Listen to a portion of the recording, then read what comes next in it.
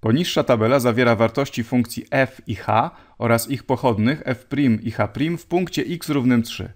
No i rzeczywiście, tutaj mamy taką tabelę, że jak x jest równe 3, to f od x jest równe 6, czyli f od 3 jest równe 6, h od 3 jest równe 0, f' od 3 jest równe 6 i h' od 3 jest równe 4.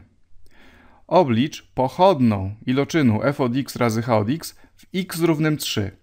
Czyli mamy znaleźć wartość tej pochodnej dla x równego 3. Czyli to będzie jakaś liczba, którą wpiszemy w pole odpowiedzi. No dobrze, no to można na to na przykład spojrzeć w ten sposób, że mamy jakąś nową funkcję, powiedzmy nazwę ją g. Funkcja g od x, która jest zdefiniowana jako iloczyn funkcji f od x razy h od x.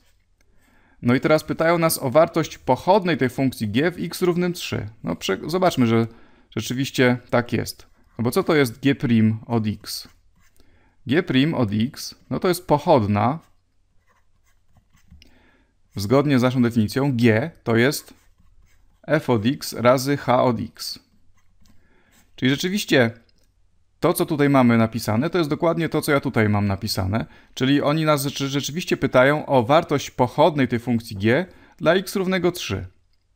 No to żeby to obliczyć, to tutaj zastosujemy wzór na pochodną iloczynu.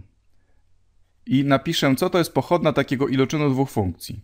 No wiemy, z tego, zgodnie z tym wzorem, że to jest tak, że to będzie pochodna tej pierwszej funkcji, f' w punkcie x, razy ta druga funkcja, bez różniczkowania, dodać f od x razy pochodna funkcji h.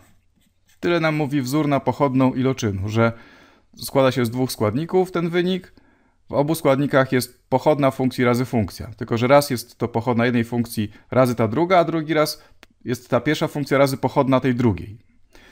Taki jest symetryczny ten wzór. No dobrze, no to teraz możemy go zastosować w tym konkretnym punkcie, kiedy x jest równe 3, czyli chcemy liczyć g' od 3.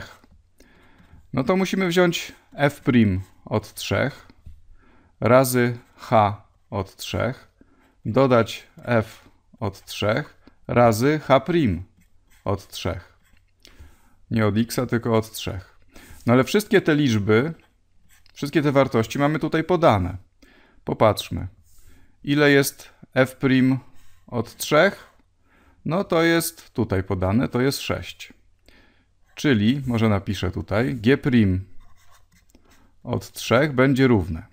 Tutaj to będzie 6. Dalej mamy h od 3. h od 3 jest 0. Czyli 6 razy 0 dodać, co mamy dalej? Dalej mamy f od 3, czyli to jest tutaj w tabeli, to jest 6. Razy, no i wreszcie tutaj mamy h' od 3, to jest równe 4, czyli razy 4, czyli widzimy, że ostatecznie tutaj mamy 6 razy 0, dodać 6 razy 4, to daje nam razem 24. Czyli do pola odpowiedzi, tutaj w pole odpowiedzi wpiszemy 24 i to jest rozwiązanie naszego zadania.